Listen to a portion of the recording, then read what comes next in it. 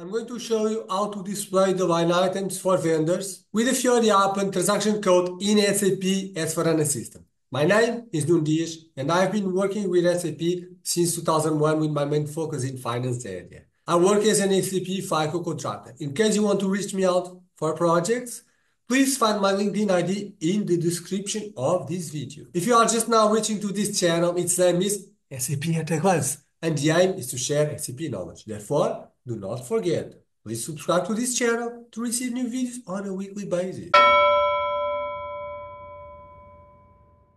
Back in the ECC version, it was very popular to use the transaction code FBL1N to display the open items or cleared items of the vendors. Now using the Fiori app, SAP has created an exclusive Fiori app called Manage Supplier Line Items to, to do exactly the same thing, but much better. And now without any further ado, let's start and let's go to the system.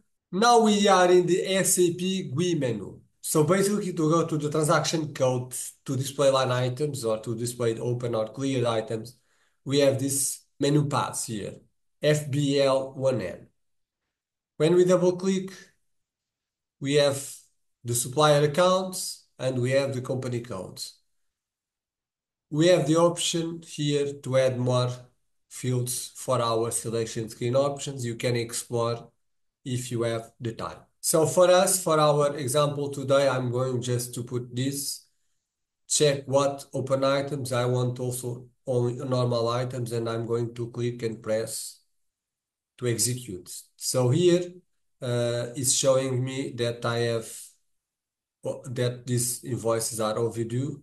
We have not paid yet. And then if I go one step back, so I choose here all items and then this is going to give me a view of my vendor. So I haven't paid yet most of the invoices because we are in this means open.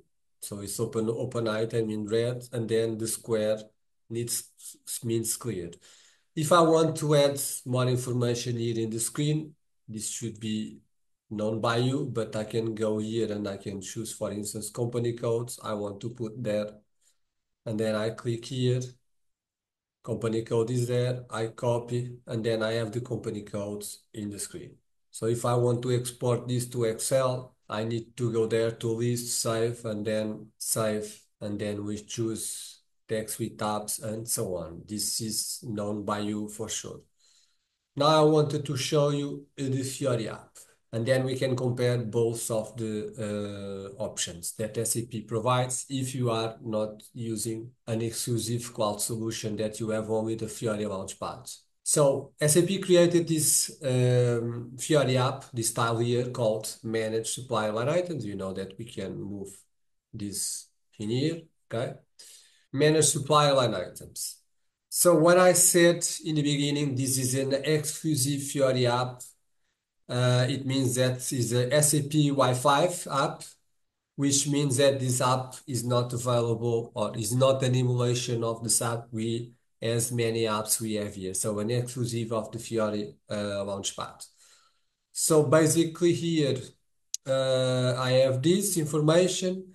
I can press and I can go. So my company codes. I want to see open items, and then the company code is showing me here the open items.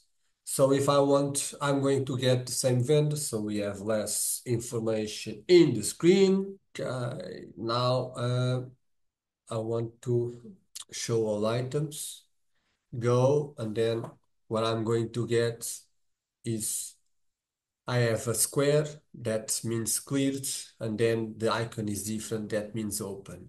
Due is this symbol. Here I have more information. Here I have more information. We are going to see it later. And then in the selection screen options, we have also the option of to choose what items we want to see it. We were seeing normal items. Uh, adapter filter means that we can add more information to our selection. For example, I'm going to click here in account type. Then I'm going to click to show you that the account type is uh, what we want to choose, but for this case, doesn't make much uh, sense to choose the account type because I'm choosing the supplier. So here I go, if I click here, I can go directly to my supplier. So I have my BP here. I'm inside of my BP, company codes, and I have all the information of my BP. So another, another Fiori here I have my company codes. We can add also, if I click there, we can add filters into to this um, layout. Let's choose, for example, account number and account type. Account number and account type are already in the layout.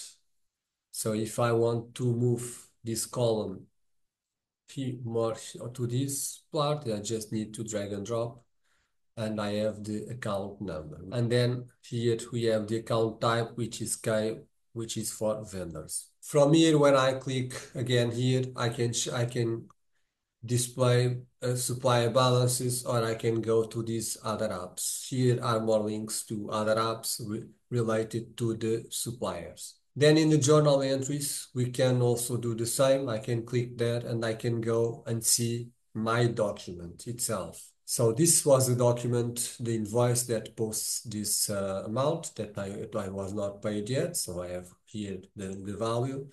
I'm going just to jump to the uh, SAP GUI. Uh, so to do the same, I have the document. I need to double click to enter in the document. I'm doing the same thing.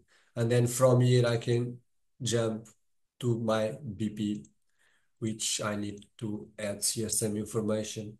So it's exactly the same thing, but I think the Fiori app is more user user friendly. So this is the BP uh, transaction code. If you are enjoying this video as me, please make a like to us.